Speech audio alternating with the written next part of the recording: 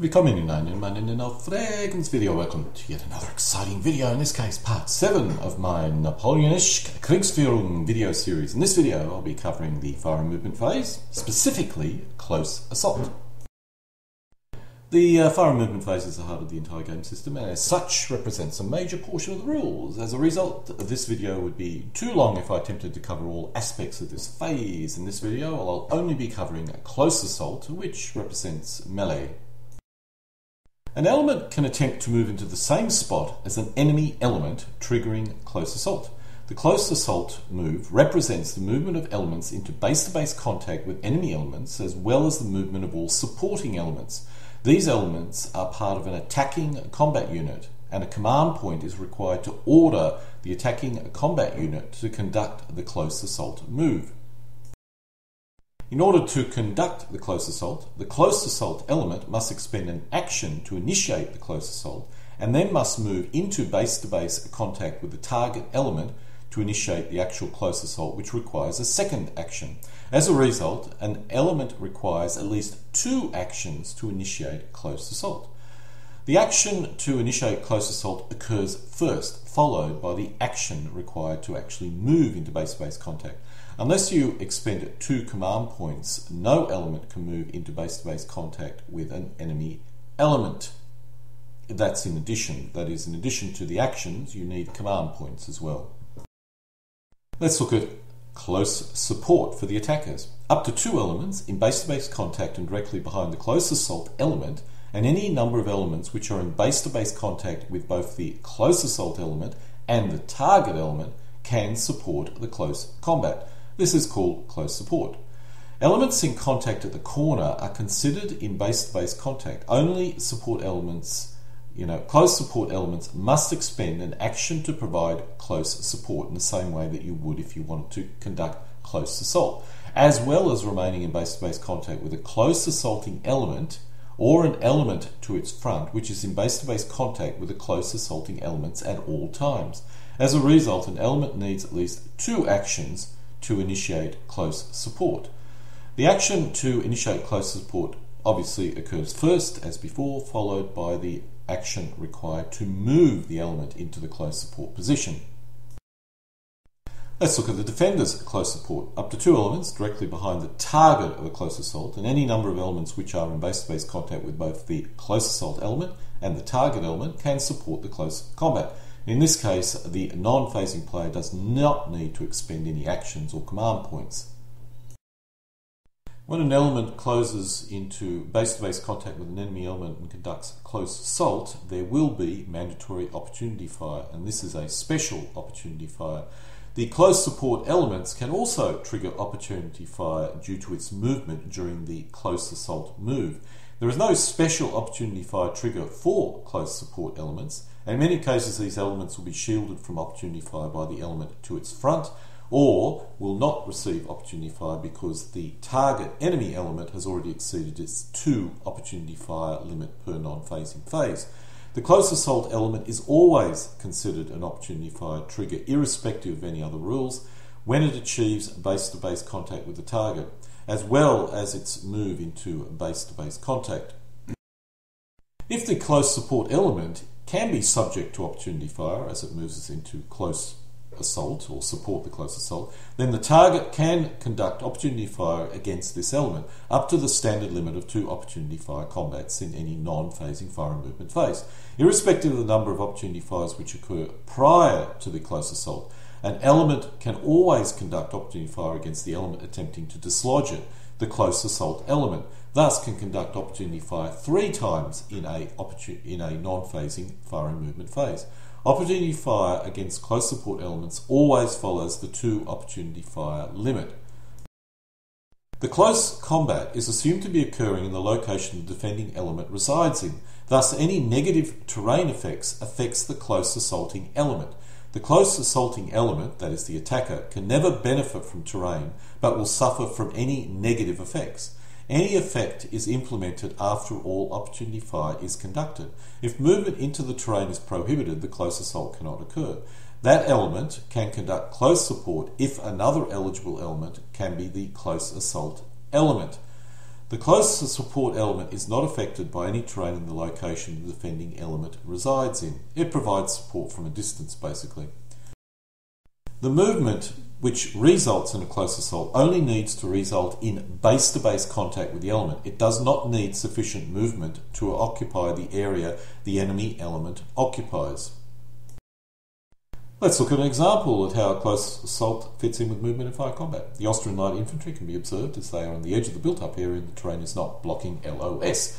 The medium or the French artillery conducts direct, direct fire combat against one of the light infantry elements. Um, and they'll be expending both actions doing it. In the first action, we get artillery versus light infantry. It's direct fire at four base width. The FE is 6. There is modifiers, cover in rough, that is the skirmishers are in rough terrain, the built up area, and they're taking cover, minus 2. The row is 4, which means we get 4 d6. Long range, half the d6, resulting in 2 d6 are thrown. Two dice are thrown with one hit, the Austrian spin a 3 save, resulting in no effect. The same process is repeated in the second action, except in this case we still get the one hit, but the Austrians spin a 1, which means that they fail the test and it results in a disorder. There is no return fire because the range is too great.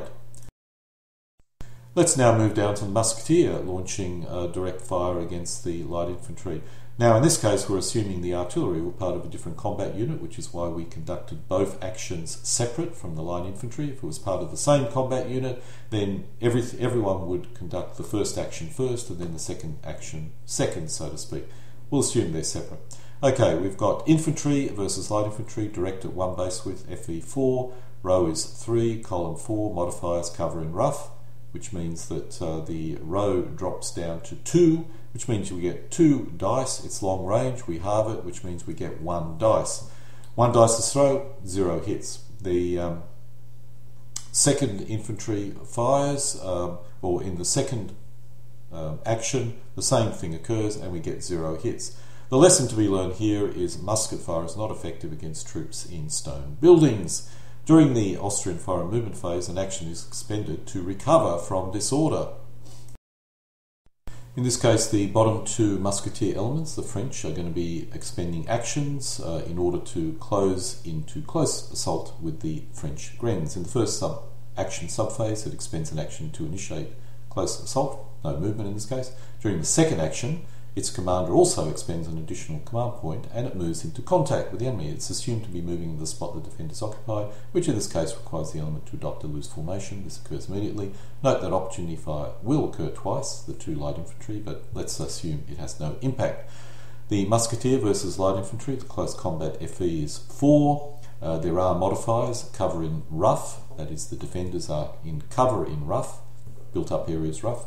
They're in loose formation, that is, the attackers are in loose formation, so minus 3, which means we end up with a uh, column, um, we end up with 4 dice in this case. The support element to the rear has the same factors, but it's considered to be at long range, which means it ends up with 2 dice. 6 dice to throw, 3, sa- three hits, save roll is 4, no effects.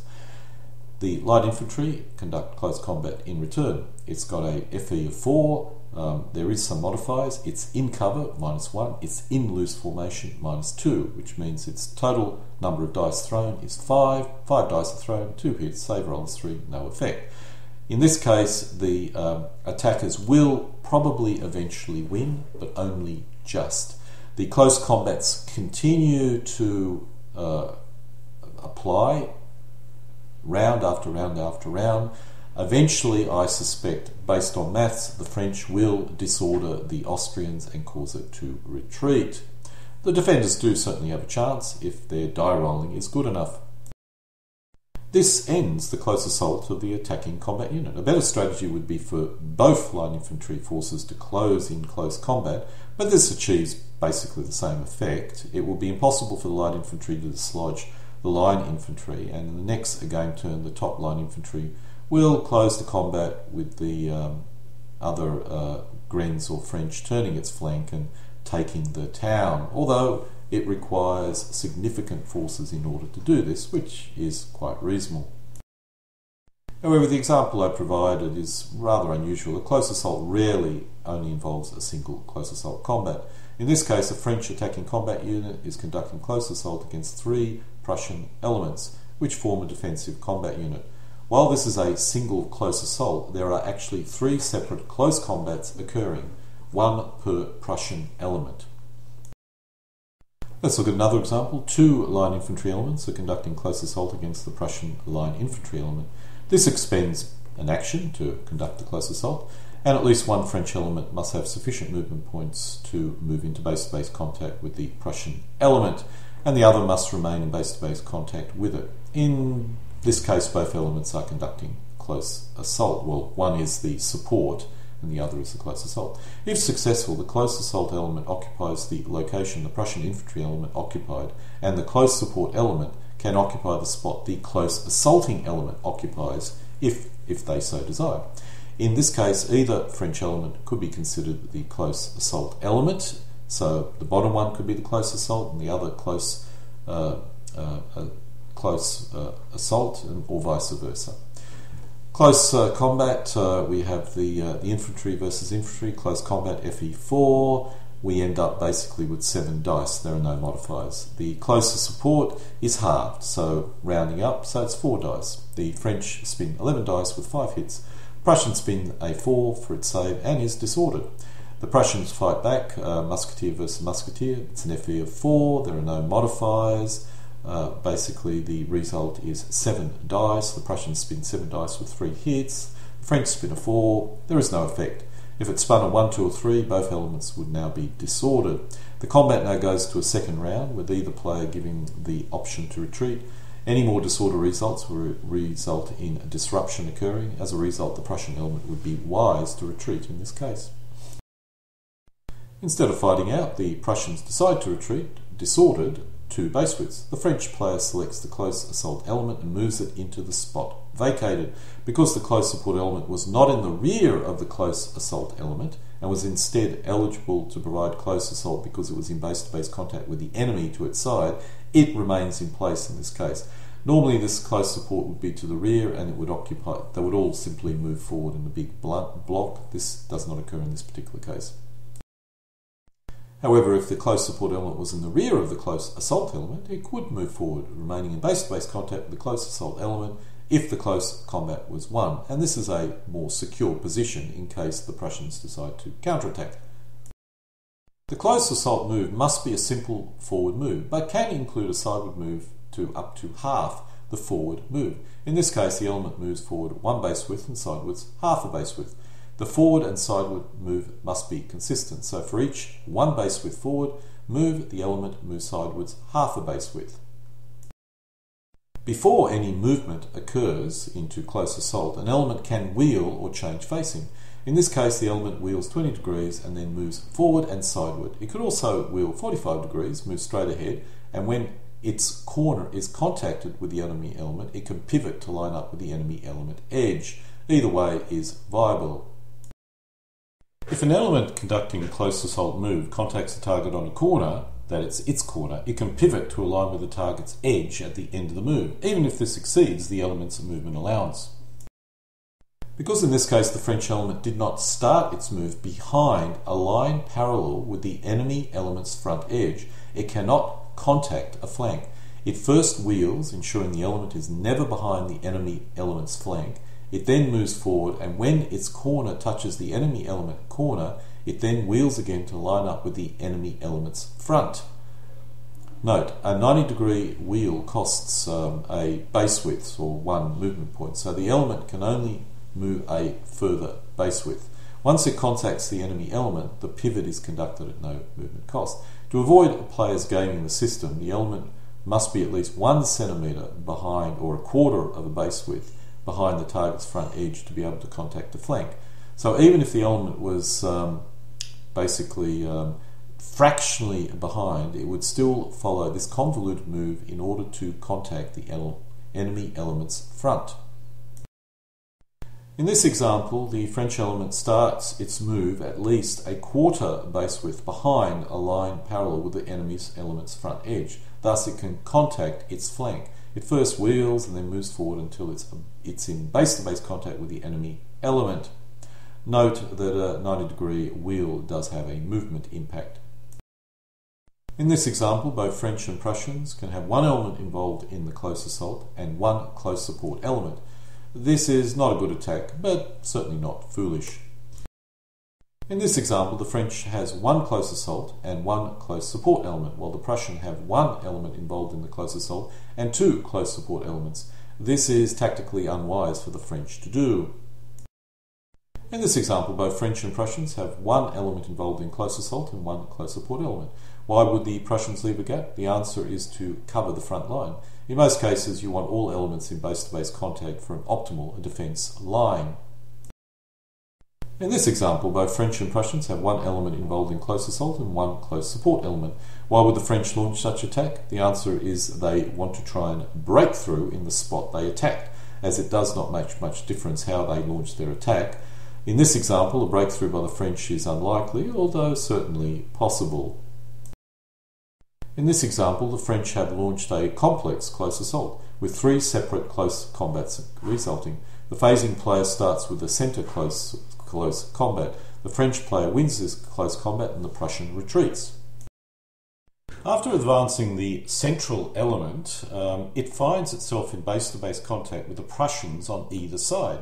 These elements uh, cannot influence the close combat on either flank, but if the Prussian elements remain in base to base combat after all close combat has been conducted, follow on close combat will be required and there will be an impact. This continues until no opposing elements are in base to base contact with each other at the end of the phase.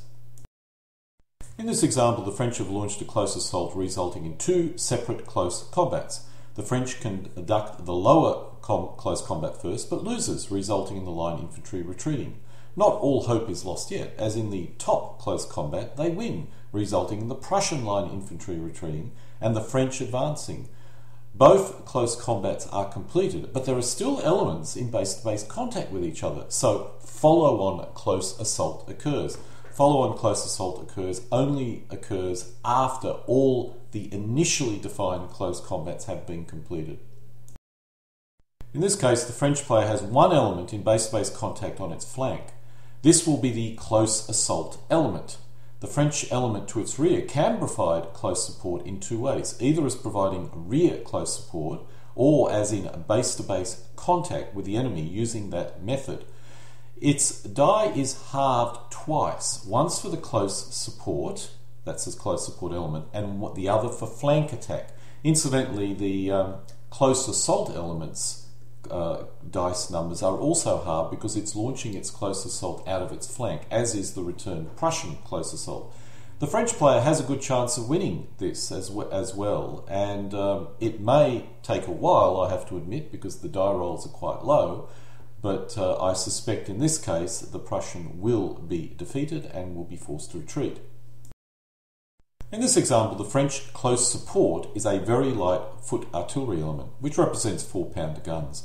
The artillery has a low movement allowance, in this case one base width, while being manhandled. This means the French, incidentally, artillery can't launch close assault when they're being towed. They have to be manhandled. Now, this means the French line infantry have to start the attack within enemy musket range. If the element has three actions, this is probably viable, but getting three actions is rare. Nonetheless, this is possible even for a light, uh, uh, a light artillery. Larger guns are too slow for this kind of attack. It's easier to simply use infantry to support, which is what occurred um, between 1800 and 1805 when the gun sizes became larger. The idea of rolling guns in with the infantry close assault kind of um, became unfashionable fairly quickly. Let's now look at the close assault in more detail. Assuming this attack gets through the opportunity fire without being disordered, let's see what happened. The French player conducts closer combat against the Prussian element. The infantry element has an FE of 4, there are no modifiers. At close assault, it means we get um, 7 dice. Um, the result is 7 dice. The close support artillery has a FE of 4 as well. One reason why artillery being used in close assault doesn't make much sense. The light guns don't have much benefit over musketeers. But anyway, let's put that to one side. Nonetheless, it gets uh, once again seven dice, but it's halved because it's close support. Result is four. The French spin 11 dice with five hits. The Prussians spin a four for a save and is disordered. The Prussians then counter FE of 4, no modifiers, it uses a 7 die, the Russians or the Prussians spin seven die with three hits, the French spin a four, and there is no effect. The French will win this close assault. Let's see what would happen if the French were disordered by the Prussian opportunity fire as it came into contact. In this case, the close assault element is disordered. The um, FE is still 4, um, gets 7 dice. The close assault is um, half the dice because it's disordered. The result, it only gets 4 d6s. Now, the artillery to the rear wouldn't have been disordered in the close in the opportunity fire, so it still gets another four. The French spins uh, eight dice with three hits. The Prussians spin a four for the save and is unaffected. The Prussians respond, uh, let's say, with the same die roll, so there's no effect. Basically, what we've got here is the Prussians are throwing seven dice and the French are throwing eight dice. There's still a chance of victory, but it's uh, a fairly narrow victory, and the Prussians could very well win this day or win the battle. Let's see what happens if you're close assaulting an enemy unit which is disordered. In this case, the Prussian line infantry is disordered. Now, if the defender suffers another disorder result, the disorder element is disrupted and physically removed. This ends the close combat.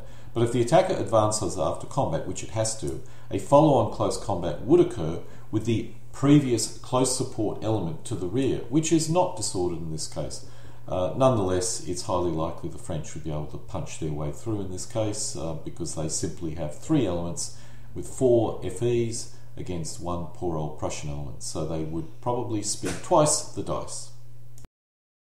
Let's look at what occurs in this uh, follow on situation. The attacker advances after combat, and the support element remains in base to base contact with it, and it also has base to base contact with the Prussian previous closest support element. So there is a follow on close assault occurring here. Incidentally, if the Prussian line infantry to the front of it had withdrawn or retreated when it became initially disordered, then it could have taken the element to the rear with it, thus avoiding follow on combat. Let's take a look at uh, what happens when one of the close support elements is disordered. In this case, one of the enemy elements providing close support is disordered, as you can see in the middle, the middle line infantry. If the defender suffers a disorder result, the disordered element is disrupted and removed. Now, this is not possible when it's in close support. Um, however, what occurs is that the close support element, when it provides close support, it's halved twice. And that's the main impact. Now, of course, if there's follow on combat, let's say the front Prussian element was disrupted or it withdrew without carrying the rest of the forces with it, and the French advanced, remaining in base to base contact, then it could have done follow on close combat against the close support element. Of course, a second disorder resulting in a disruption. Let's look at some examples of evading by a skirmish troop. In this example, the French launch a close assault against the Prussian skirmish elements. When they contact the Prussian skirmishers, the skirmishers, instead of engaging in close assault for the first round decide to evade. The skirmishers move backwards and turn to face the front where they get when they get to the rear of the Prussian line elements. Should be noted that the skirmishers can conduct opportunity fire before they evade. Should also be noted the skirmishers may also decide to stand and fight, which would be probably not a wise decision. If the skirmishers do evade in this situation, because the skirmishers evade, the French actually won that close assault and advanced into the vacated space the skirmishers left behind. This puts them in base to base contact with the Prussian line in the rear. Now, when all other normal close assault is conducted, you can now conduct follow on close combat, and that's what will occur in this particular case. After all those close assaults have been conducted, we then conduct follow on combat, and in this case, the skirmishers can act as close support. Let's look at the opposite example where the uh, Prussians have skirmishers to the front and decide to launch a close assault through the skirmishers. The, this uh, entire six elements are activated for close assault. The line infantry moves through the skirmishers into base to base contact with the actual line infantry. It should be noted that the six elements would be activated for, for movement, and if you want the skirmishers to provide close support, when it's activated again, to conduct close assault, those skirmishers need to be included. So what we end up with is the line infantry are now in base-to-base contact with the French. The skirmishers are to the rear. Now, if the distance travelled is greater than what you see here, the skirmishers can actually link up to the end of the last line infantry unit and be carried forward as well. The point being is that uh, you can close assault through skirmishers and the skirmishers can still provide close support. I mean, in basic terms, um, we don't have great, massive, solid blocks of men where there's no room to maneuver. When you launch an attack, you launch attack in columns with big gaps all over the place.